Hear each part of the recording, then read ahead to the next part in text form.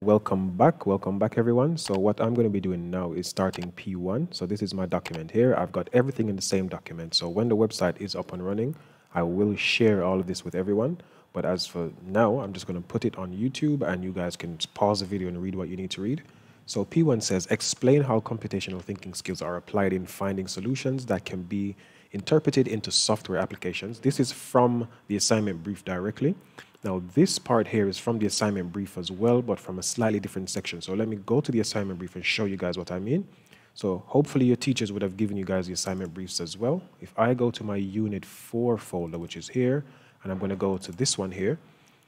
So this is the assignment brief you guys get. And I think most students scroll straight down and look at what P1 needs you to do, what P2 needs you to do. But what you should do is compare this section here, so the, um, the criteria itself, to what it says in task one. And task one is going to have a breakdown, more or less, or an explanation of what needs to be done for each section. So this, for example, that's P1. This is P2. I believe this is P3. Uh, P4 would probably start, uh, I'm sorry, not P4, M1, then D1, and so on and so forth, right? I might have mixed it up just now, but you should definitely look at task one and see what needs to be done there. I've copied in everything that needs to be done. For example, this is the thing that needs to be done for P1. So I've copied it from that section. Explain what computational thinking is and analyze how programmers use it to solve problems, including how programmers identify and describe problems and how they communicate features and processes how programmers recognize patterns, generalize and abstract information required, and how programmers represent problems or systems. Now, this is pretty, pretty good. This is probably the best one I've ever seen for any criteria because it tells you everything you need to do in here. Just a quick recap what needs to be done again is we need to know what computational thinking is. This is what I think we need to do. We, we need to then work out um, what the computational thinking skills are. So maybe have a list of them and then maybe be able to explain what they are and then what is software and how do we apply computational thinking skills to solve software problems? And that just means to create software. That's all it means. So wherever you see to solve software problems it doesn't actually mean to go in and fix a software. It means to create the software. The very first question i have in mind is what is computational thinking? This must be a thing. So let me just quickly go back here what I've done for each of these criterias um, is I've read it, I've understood what I think I need to do, and I've broken it down into smaller sections. So I've actually applied computational thinking skills to each of these things. So what is computational thinking? It's a method of breaking down a massive problem or a bigger problem into smaller subsets of problems, so it's easier to solve. So you need to go find a decent definition. You should Google it, use a book, but you must reference it. This is why I put reference it in red you have to reference the information you find. Reason being, the information you find is not your own. You didn't wake up one day and simply have all the information you needed to do this unit or this course. You had to find the information somewhere, so you should always reference it. What is a software application? So, what is a software application? Find a definition for what is software, what is a software application, whatever one you choose to use, right?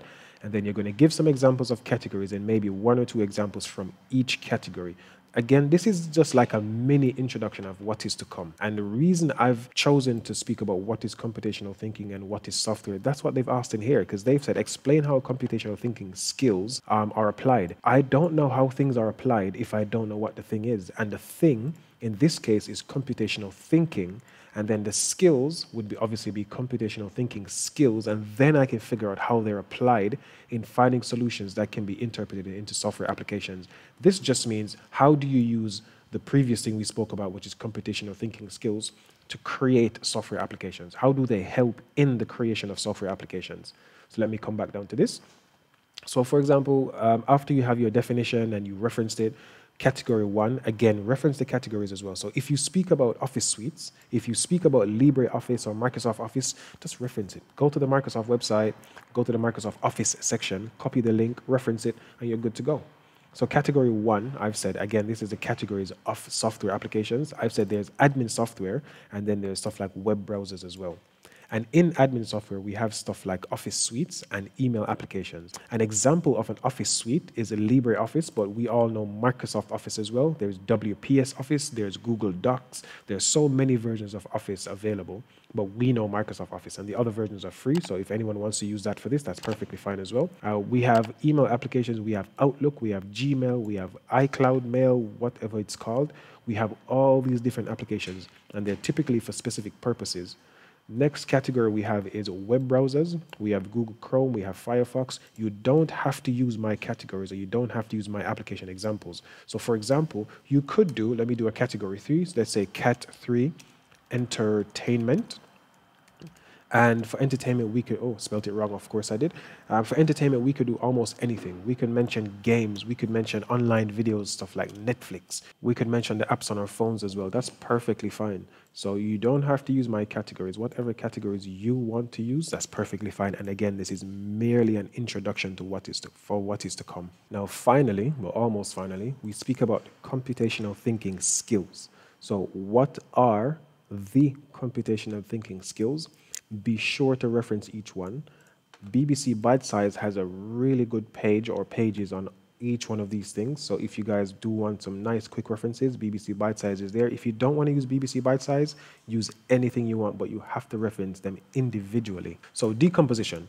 What is it and how is it useful in problem solving? Pattern recognition, same thing. What is it and how is it useful in problem solving? So I'm going to go through the first one and then you guys can go ahead and research each of these and then explain how that specific one, so pattern recognition, pattern generalization, and partial representation, how are they useful in solving problems?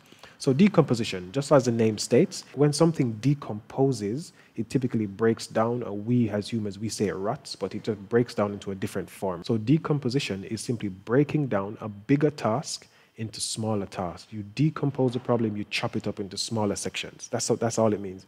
And how is this going to be useful in problem solving? You can go find information on this or you can interpret it yourself. I recommend for this section, you go find the information.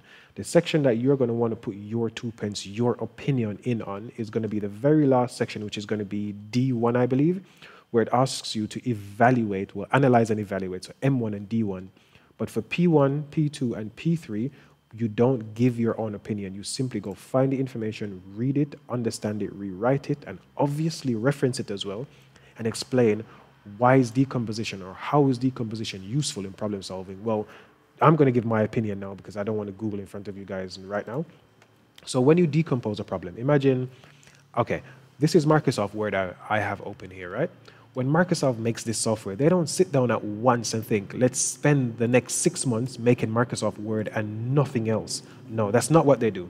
They break the problem down and ask themselves, what are the features of Microsoft Word that they can implement a section at a time? For example, every single Microsoft program has the same banner thing at the top where it has file, home, insert, draw, design, layout, references, so on and so forth, right? Not every program has the same things, but they have the same banner at least. So they know one of the first things that they can work on is maybe the menu system, right? Because if I'm in PowerPoint, let me open PowerPoint quickly. If I'm in PowerPoint, let me open Excel as well. And let me just do blank worksheet. Let me make that big. Let me go to PowerPoint. Let me do blank. If I go to File, this is File in PowerPoint. If I go back to Excel, if I go to File in Excel, if I go to Word and I go to File, these are pretty much exactly the same windows. So when they decompose a problem, they break it down so that they can solve individual sections at a time. So that same menu section that they have for Word, which is this one here, they can have the same menu section for Excel. They can have the same menu section for PowerPoint. So that's how they might do it. They might start making the menu section first as a basic example so that when it comes to making the other programs, they already have a decent menu system that they can just import into another program. And if they, for example, Microsoft Word has specific things in, uh, let me go back to, let's say, design. PowerPoint is going to have a slightly different design set of features, right? But it's going to be more or less the same thing. So that's what decomposition is, and that's how you use it to solve a problem.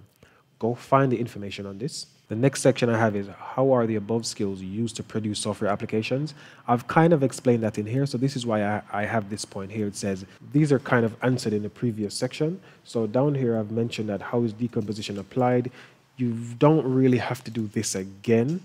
if you have a fully featured section here. So if this section here is descriptive enough, so you go and you find a good definition of decomposition, and you also go and find a good example of how it's actually used to solve a problem, then you don't need to come down here again and explain all the same stuff again. So I recommend making this section beefy enough, and that's your P1 finished. So just as a quick recap, for P1, we need to know what computational thinking is. We need to then know what the computational thinking skills are what is software and how do we apply computational thinking skills to solve software problems, so to create a software.